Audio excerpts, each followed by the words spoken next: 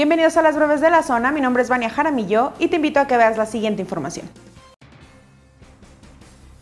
Luego que 24 cadetes y 4 trabajadores administrativos de la Academia Metropolitana de Seguridad dieran positivo a las pruebas COVID-19, se decidió suspender las clases presenciales por al menos 12 días para evitar mayores contagios.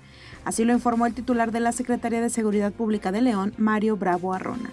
En conferencia de prensa virtual, el secretario de Seguridad confirmó que hace unas semanas había solo dos cadetes con coronavirus. Sin embargo, antes de ayer, les confirmaron que de las 303 pruebas realizadas al momento, hay 28 personas que dieron positivo.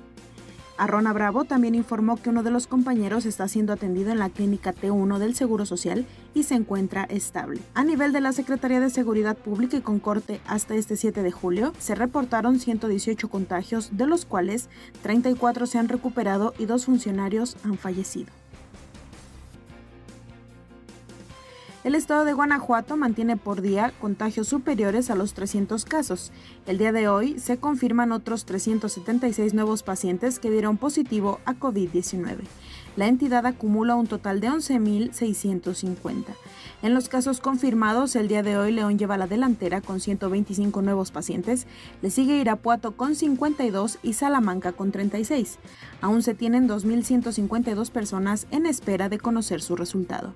En el panorama que presenta la Secretaría de Salud de Guanajuato señala que ahora en igual porcentaje los pacientes acuden con síntomas principalmente por dolor de cabeza, tos y fiebre.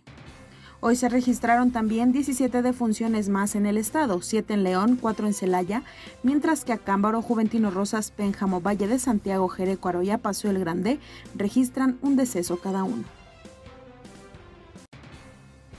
El día de mañana, familias de personas desaparecidas en la entidad harán un plantón frente al Teatro Juárez en la capital. La razón de las familias para realizar este plantón es derivado de la decisión del gobernador Diego Sino Rodríguez Vallejo al poner a Héctor Alonso Díaz Esquerra al frente de la Comisión Estatal de Búsqueda de Personas. Hoy incluso las familias entregaron un documento en el que avisan que no hablarán con nadie más que no sea el propio mandatario estatal.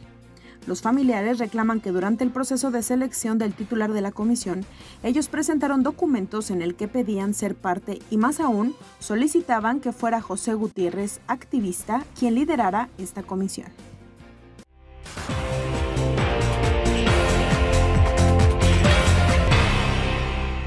Consulta todos los detalles en zonafranca.mx, lo puedes hacer también a través de todas nuestras redes sociales y por supuesto mañana Carmen Martínez tiene para ti más información.